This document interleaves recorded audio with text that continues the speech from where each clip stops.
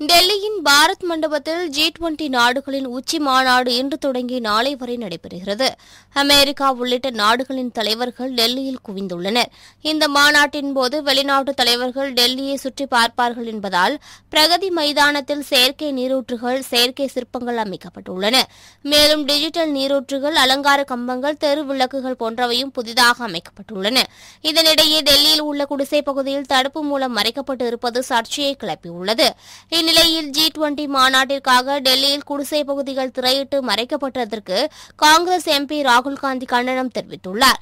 இதுகுறித்து அவர் வெளியிட்டுள்ள டுவிட்டர் பதிவில் ஏழை மக்களையும் விலங்குகளையும் இந்திய அரசு மறைப்பதாகவும் இந்தியாவின் உண்மை நிலையை விருந்தாளிகளிடமிருந்து மறைக்க வேண்டிய அவசியமில்லை என்றும் தெரிவித்துள்ளார்.